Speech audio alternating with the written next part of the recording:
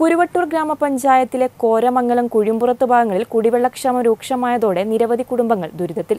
വർഷങ്ങളായി തുടരുന്ന ദുരിതത്തിന് അറുതിയായി ജൽജീവൻ മിഷൻ പദ്ധതിയിൽ പ്രതീക്ഷയർപ്പിച്ചിരിക്കുകയാണിവർ കോഴിക്കോട് ജില്ലയിലെ കുരുവട്ടൂർ പഞ്ചായത്തിലെ കോരമംഗലം കുഴിമ്പുറത്ത് ഭാഗങ്ങളിൽ കുടിവെള്ളക്ഷാമം രൂക്ഷം.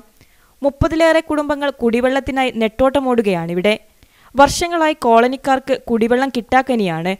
ഞങ്ങൾ കുറേ കാലമായി ഇവിടെ വെള്ളം കിട്ടാണ്ടായിട്ട് പത്ത് നാൽപ്പത് വർഷമായി ഞാൻ വന്നിട്ട്.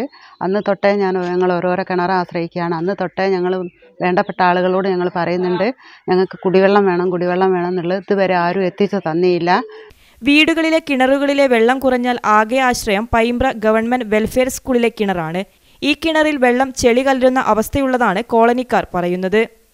സ്കൂൾ വരുന്നതിന് മുന്നേ രാജേട്ടന്റെ വീട്ടിൽ അവിടെ നിന്ന് ഇനി അധികം വെള്ളം എടുക്കൽ. ഇപ്പം സ്കൂൾ വന്നതിന് ശേഷം ആടെ വെള്ളം കുറയും. ഞങ്ങൾ എത്രയോ കുടുംബങ്ങളില്ലേ എത്ര ആൾ ഒരു വീട്ടിൽ നിന്ന് തന്നെ വെള്ളം എടുക്കുമ്പോൾ ഓർക്കും നമ്മൾ ഓരേം കണ്ടറിയണം. അതുകൊണ്ട് പിന്നെ സ്കൂൾ വന്നേരെ ഞങ്ങൾ സ്കൂളിൽ നിന്നാണ് വെള്ളം എടുക്കുന്നത്.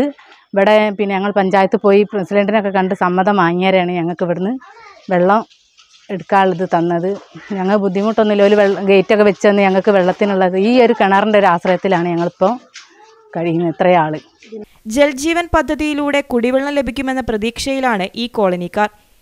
ഇതിനുള്ള പൈപ്പിടൽ എന്ന് പൂർത്തിയാവുമെന്നാണ് ഇവർ ചോദിക്കുന്നത്. News bureau Mavoor.